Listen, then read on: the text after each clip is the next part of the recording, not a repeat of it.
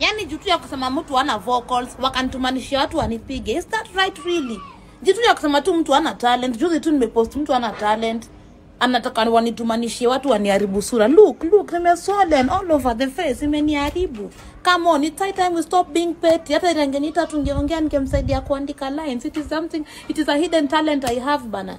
Sometimes just mature up as an as artist. Look at the damage. Look at the cause but thanks to makeup i am healing vitu zingine. In fact kwanza walikuja watatu walikuja mpaka na mubaba. Hata wangekuja na mumama.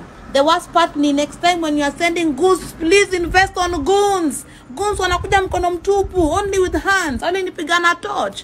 Anjekamna guns ingeni shaken. But too bad too bad. Wako ni your goons bana